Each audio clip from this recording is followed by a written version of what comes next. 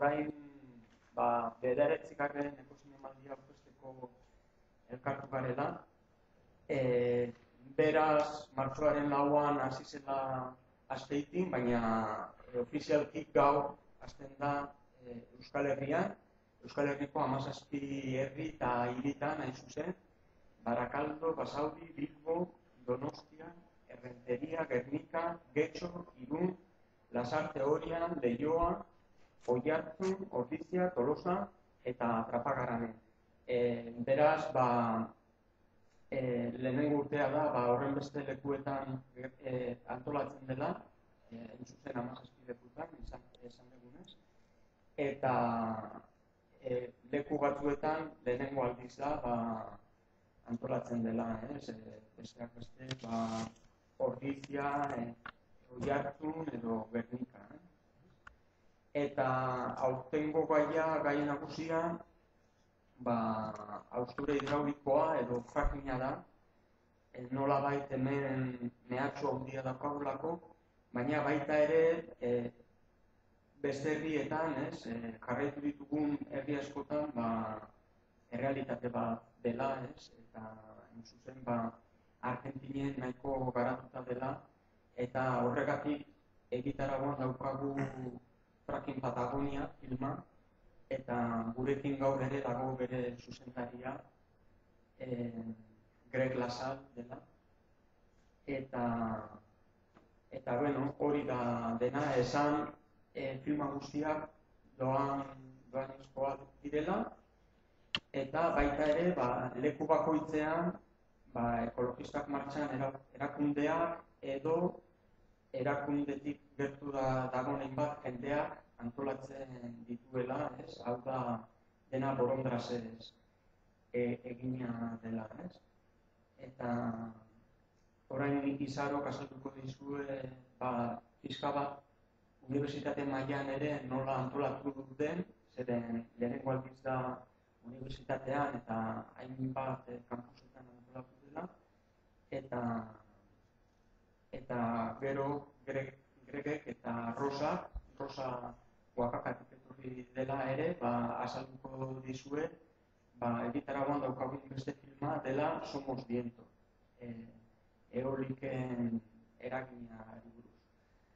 Eh, bueno, decir que, que estamos aquí presentando el, el noveno Ecosinemaldia, eh, que este año pues, se organiza en más pueblos y ciudades que nunca, 17 en total, eh, pues, con algunas novedades, con algunos pueblos en los que después de bastante tiempo pues, se vuelve a organizar.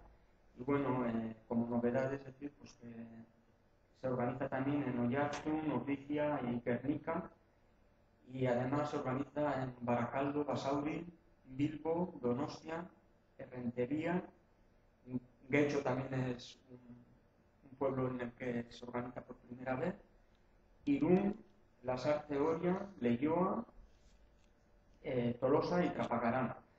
Decir que, bueno, que en todos estos sitios se organiza por ecologistas que marchan y gente o socios, gente afín o socios, y que se realiza eh, totalmente pues, a, nivel voluntario pues, por, estas personas.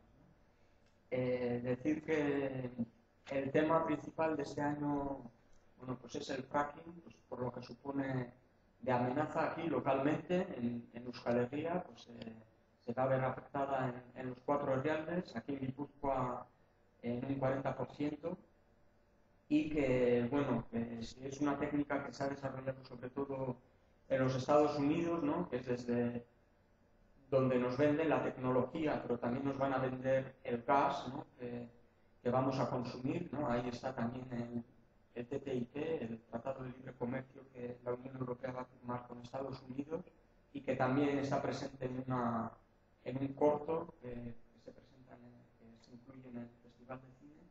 Pues aparte de ello, pues también nos van a, nos venden la tecnología, ¿no? y teniendo en cuenta pues, que se necesitan muchos pozos y, y desarrollarse de una forma pues, bastante grande, eso supone también mucho beneficio para las empresas estadounidenses.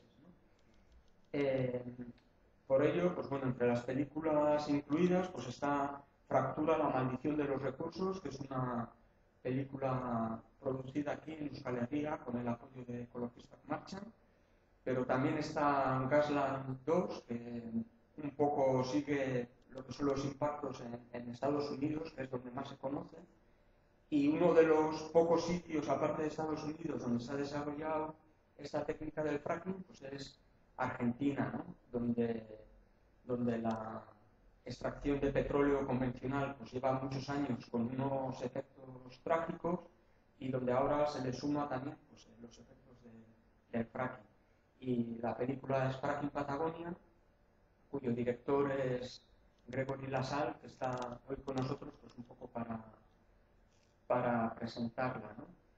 Y aparte de esas películas, pues el caso Sarayaku, que eh, habla un poco también pues, del impacto del, petróleo convencional en Ecuador y en este caso pues cómo se ha conseguido resistir esa, situación y, o pueblos acorralados por el gas que también habla pues eso del, del mismo efecto en, en, Perú como alternativa no pues nos queda voces en transición que es un poco lo que lo que abogamos desde Ecologistas Marchand, una transición a, la dependencia petrolera, también entendiendo la gasista, y, o un minuto de, crecimiento, ¿no?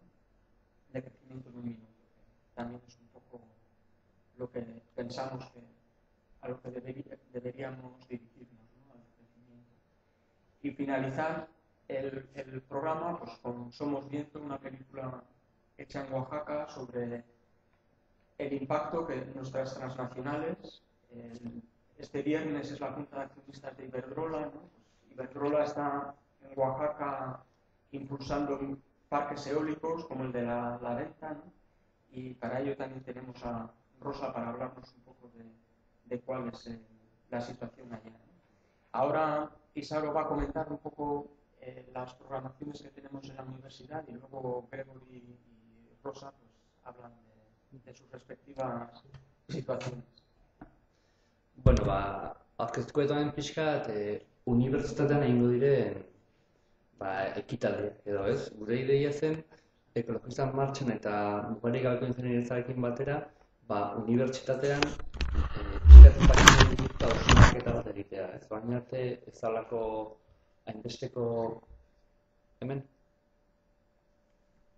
Bueno.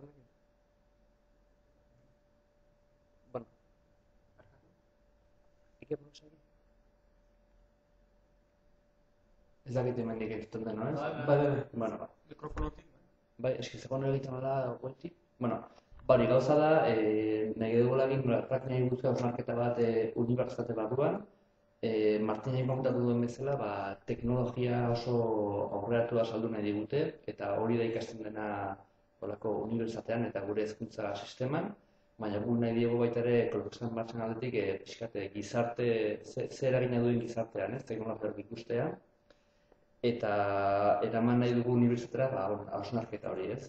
Hortarako ditugu lehioan Donostian eta Bilbon emanaldiak. Lehioan egingo dira hogeita dagoen eta hogeita zeian, amaiketetik aurrera. Bilbon e, mehatze eta harrilan e, goi eskolan egingo da emanaldi bat hogeita bostean, eta hogeita zazpian ingeniatzeko goi eskolan bilbon baita ere. Eta donostian, bihar, e, hogeita lauean, eskola politeknikoan ere, aurkeztuko dugu e, Greg Lasale e, Fracking Patagonia filma. Eta bertan baita ere, frackingezeko mugimenduko ba, e, pertsona bat egongo da, eta erekin dugu dugu leko sola saldi bat, frackingari buruz. Orduan, hemendik da, konbidatzea nahi dunaki bertan parte hartzea, eta eta besterik gabe utziko dute hitz emango dio ba Rosa edo Grebi, ez? Berai aurkeztuko pixka beraien filma.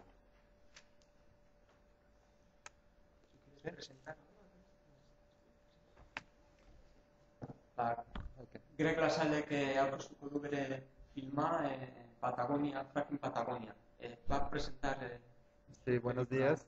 Muchas gracias por la invitación. Gusto estar acá.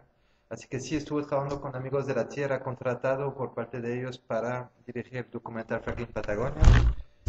desde que se terminó el documental estuvo dos veces en Argentina trabajando para el mundo diplomático para escribir un reportaje sobre la situación social y económica en la zona, no en la provincia. Creo que echar un ojo en lo que está pasando en Argentina es muy importante porque después de Estados Unidos es el segundo país donde se está desarrollando la industria no convencional y se considera ahí todavía como un proyecto piloto, ¿no? Para ver si es viable a nivel económico y a nivel social también. Ahorita las condiciones no están dadas en Argentina para que se desarrolle de manera masiva, porque estamos en un fin de ciclo del kirchnerismo, de la, de la presidenta Kirchner, y las empresas están esperando que venga un nuevo gobierno que les dé mejores condiciones todavía para invertir ¿no? en la zona. Sin embargo, hay una concesión que se está desarrollando, que es bastante grande, que está desarrollada por IPF, que es la empresa nacional de Argentina, y Chevron, que es la multinacional americana. Así que a partir de esta experiencia podemos un poco ver uh, cómo se va a desarrollar uh, el no convencional en Argentina. Eh, este, um, hay un yacimiento que se llama Vaca Muerta, que abarca 36.000 kilómetros cuadrados, y ahí está contenido el gas y el petróleo que se va a desarrollar, ¿no? A través de la técnica de la fracturación hidráulica. Lo que hemos observado, lo que, lo que yo he observado en esta zona, son varias cosas, ¿no? Para ser muy sencillo, ¿no? Luego podemos desarrollar más. Primero es que efectivamente el no convencional como um, el mercado, digamos, de vaca muerta beneficia a unas 15 empresas que um, se benefician del 80% del mercado ahí. Dentro de estas empresas tenemos las operadoras, las que vienen como a, que tienen las concesiones y que las explotan, así que está Shell, Total, como las major habituales. Luego, las empresas que se benefician de los contratos directamente son las empresas de servicios especiales, las que hacen las perforaciones verticales y horizontales muy profundas y la que hacen la técnica de la fracturación hidráulica. Ahí estamos hablando de Schlumberger, Halliburton, Baker Hughes. Son unas pocas empresas, la mayoría norteamericanas, que se benefician de estos mercados. Y luego, a un nivel más bajo, las empresas que se benefician de, de digamos, del yacimiento de vaca muerta son las empresas ligadas a la burguesía nacional y provincial. Ahí son todas las empresas que van a llevar cilindros, que van a llevar agua, que van a construir las locaciones, que van a recuperar las aguas usadas. Así que lo que estamos viendo ahora es una concentración de, uh, digamos, de, uh, del mercado de vaca muerta en pocas manos, ¿no? Y esta concentración tiene que ver con el poder político. En la zona de Argentina, de Neuquén, en la provincia de Neuquén, la misma gente que tiene las empresas que están prestando servicio a la, a Vaca Muerta son, son esta misma gente que tiene el poder político desde más de 50 años. Así que lo que yo observé durante esta estancia ahí es un debilitamiento también de la democracia ¿no? a nivel local. Porque si quieres participar en la zona, si quieres tener acceso a un trabajo de petrolero que consigue un muy buen sueldo, por ejemplo, tienes que ser parte del partido provincial, etc. Así que el debate sobre sí o no el fracking ahí no existe. Simplemente no existe porque es la matriz y no se puede discutir. ¿no? Lo que también observé, que es, pero que es muy difícil de comprobar, es como um, una sucesión de accidentes como ecológicos, podemos decir, ¿no? Problemas de fugas, problemas de, de, de agua contaminada. No pasa una semana sin que haya un accidente ahí. Eso está, está bastante claro, hasta tengo imágenes de esto, pero luego es muy difícil llegar a los pozos para comprobar eso porque todo está prohibido, no es prohibido llegar. ¿Y por qué hay tantos accidentes? porque hay que bajar los costos de producción. Ahorita en Argentina un pozo vertical, solo hablo de los pozos verticales, cuesta 7 millones de dólares. Supuestamente para que sea rentable con el precio actual del petróleo hay que bajar muchísimo los, los costos, ¿no? Así que hay una carrera hacia la bajada de los costos que obliga a tomar riesgos y no pasa una semana sin que haya accidentes, ¿no?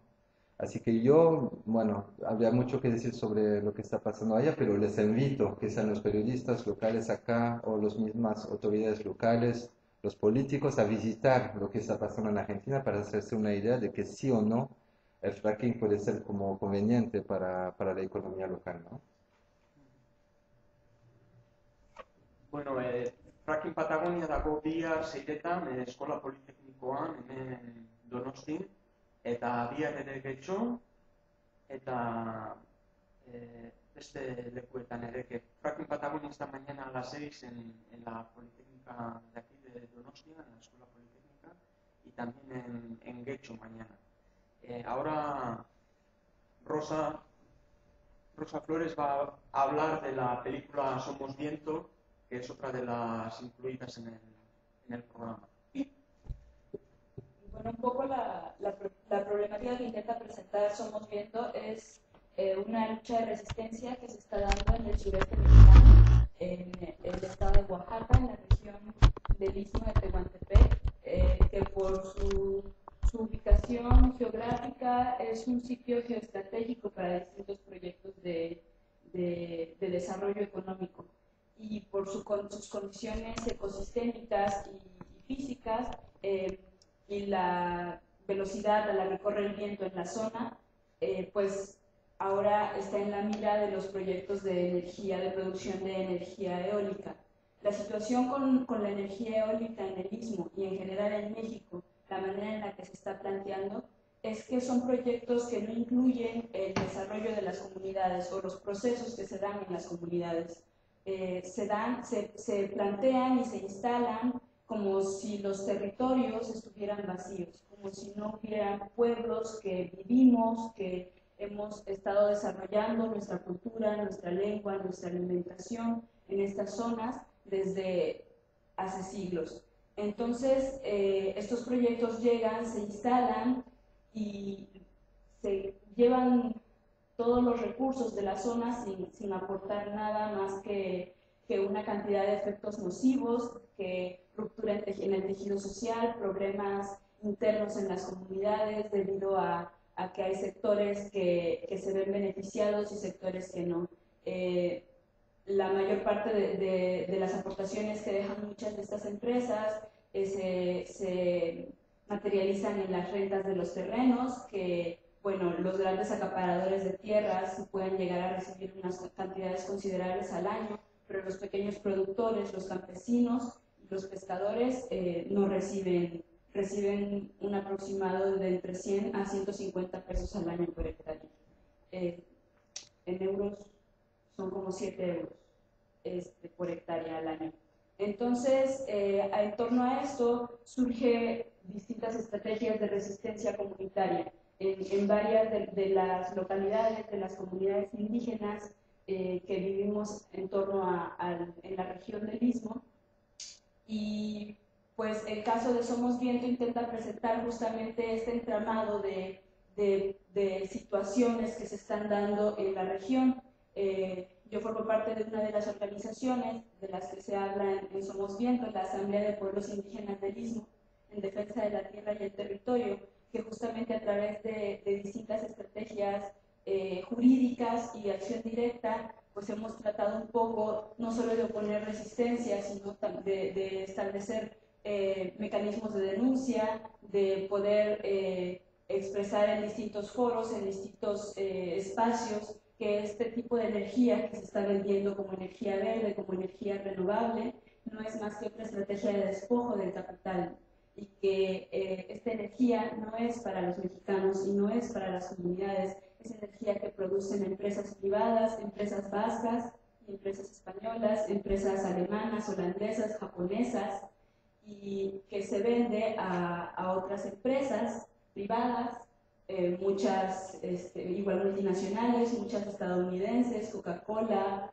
eh, Heineken, Mitsubishi, Bimbo, eh, y bueno, el, eh, los beneficios son desde ellas y para ellas, y eso, como ya comenté hace, hace un momento, para las comunidades solo quedan eh, prejuicios en su mayoría. Entonces, eh, la asamblea un poco, o las asambleas que se han estado conformando en la región del Istmo en torno a la resistencia, pues están intentando plantear otras estrategias.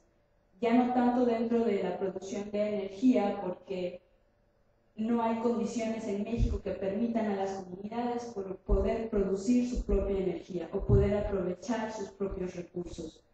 Entonces, lo que, se está, lo que se está dando es una conformación de resistencia comunitaria y una conformación de una forma de vida comunitaria eh, para restaurar los lazos que se habían estado perdiendo por la intromisión de partidos políticos, por la intromisión de líderes que justamente estaban intentando entregar nuestro territorio y que, bueno, el proceso un poco es el que, el que se está viviendo en este momento, la reivindicación de las luchas indígenas, la reivindicación del territorio y de la importancia que, que tiene que, que, el manejo de los recursos de, nuestros, de nuestro espacio sea, sea dado por nosotros mismos.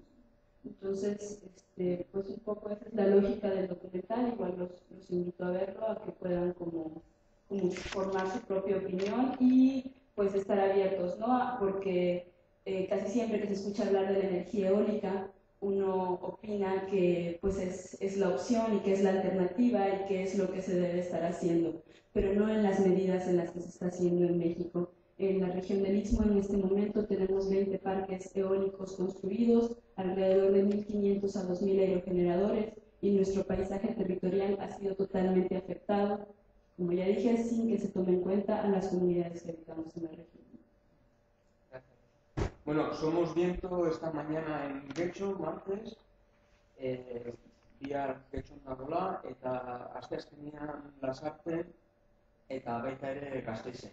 Eh, también mañana en, en Lasarte y en, en Para finalizar, solo decir eso, que el, todo el programa está en la página de Ecologistas Marchan, ecologistasmarchan.org, y, y que bueno, como son tantos sitios y tantas películas, pues eh, eh, lo mejor que, que, cada una, cada uno, pues eh, vea el programa correspondiente a, su sitio, porque si no nos llegaría todo el tiempo aquí.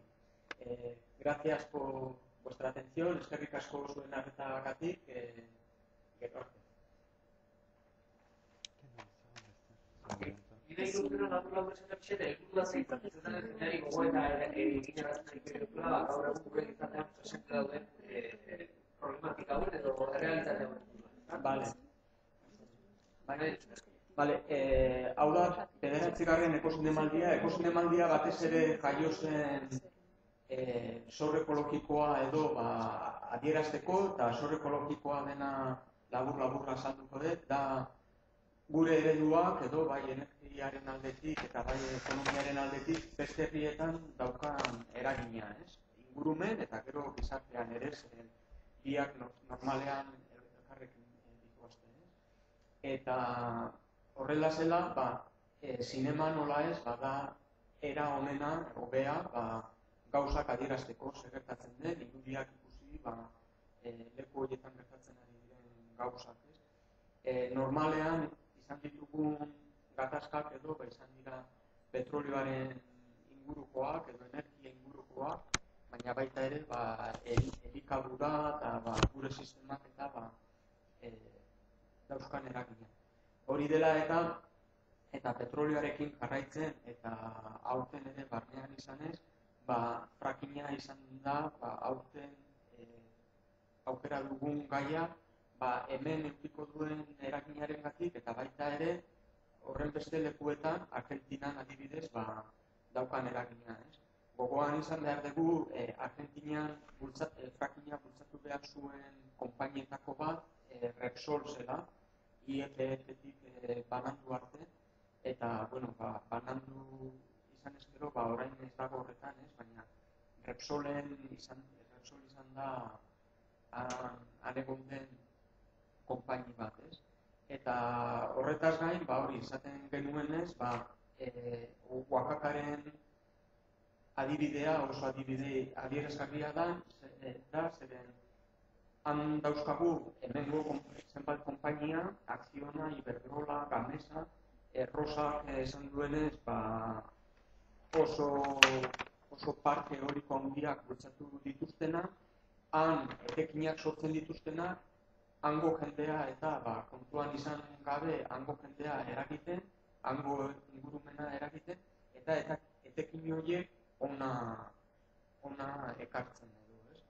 Eta, bueno, hori da nola bai, e, ba, gure helburua, ez? Horrekin batera, ba, horri alternatiba bat eh, jartzea edo, edo ekartzea, ez? Eta alternatiba hori da, ba, e, petrolio eta gas, gazen e, oinarritzen den eredu honetatik, ba, ba, transizio bat behar degula, zeren gure menpekotasuna erabatekoa da eta ikusten dugunez ba, sekulako eragina daukala beste lekuetan. E, energiaren aldetik larogeita marra, euneko larogeita marra baino gehiago ba, kanpotik dator, beraz, e, pentsa arazi behar digu, eta e, desazkundea behar dela, ez? E, eta hori ere, ba, aurten, ba, ba, zenbait eta ba, alera nahi dugu. Zibri hau kinez etxekoak daude, eta gero, daude ere, kanpoko Bai, hori da. Bai, bai e, txekoak, bueno, batez ere, ba, hori, ez, fraktura la maldición de los recursos, gero eh, labur metrai batzu, ez, eh, eh, de crecimiento en un minuto, ba, esaten dugunez, desaskundeari buruz eh, egiten duna, eta gero, ba, ba bai, ez, eh, zenbait herrietan egin diren filmak, ez, eta besteak beste, ba, Peru, Argentina, Guatemala, eh, eta gero, ba, Europa mailan proposatzen den transizio hori, ba, ba, jorratu